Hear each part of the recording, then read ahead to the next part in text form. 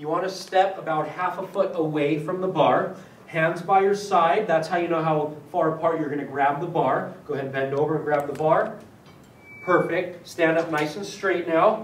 Shoulders back and down. Slightly bend your knees.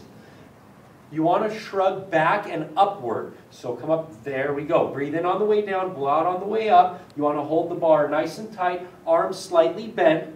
You don't want to bounce your knees back and forth. Keep your face and your neck nice and straight, look straight.